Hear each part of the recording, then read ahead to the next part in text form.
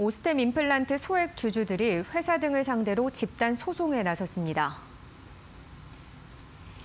법무법인 오킴스는 오늘 기자회견을 열고 주주 26명을 대리해 자본시장법상 책임을 묻는 손해배상 소송을 제기했다고 밝혔습니다.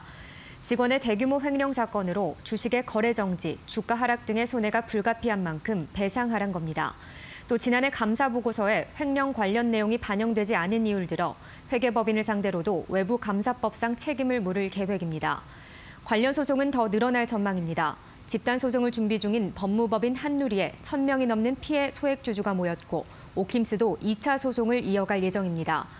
앞서 오스템 임플란트는 재무팀장 이모 씨의 횡령 사실을 공시한 바 있으며 이 씨는 현재 업무상 횡령, 범죄 수익 은닉 등의 혐의로 검찰에 넘겨진 상황입니다.